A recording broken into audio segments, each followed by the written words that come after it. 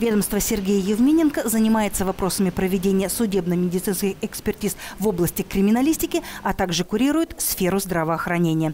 Поэтому проблемы, с которыми пришли посетители на прием, достаточно специфичные. Вот волокит это все, то документы не приложили, то еще начали гонять по инстанциям.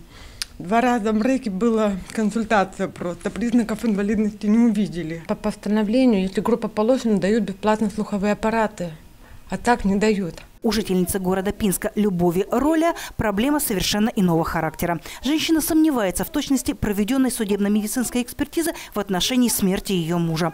Вдова уже обращалась в вышестоящие инстанции в Пинске и Минске, которые оставили выводы экспертов без изменения. Но Любовь Тимофеевна не оставляет попыток добиться пересмотра решений экспертов. Пишут лишь бы, что убрали все органы у хозяина снутри, напичкали ветошью. В общем, ну, творят лишь бы что, чтобы выгородить преступника, а человека списывают, как умер сам по себе. Вопросы и проблемы, с которыми обращаются граждане, самые разные. Кто-то не согласен с выводами экспертной комиссии, кто-то просит совета для решения своей проблемы в других инстанциях, которые так или иначе взаимодействуют с комитетом. Все, что связано непосредственно с деятельностью нашего комитета, оно решается достаточно просто. То есть, если действительно факты имеют место, э, мы э, инициируем проведения э, служебной проверки по этим фактам. Если есть э, какие-то э, замечания, нарекания, которые устраняются в таком порядке простом, то, естественно, они устраняются. И если есть виновные, они несут ответственность дисциплинарную.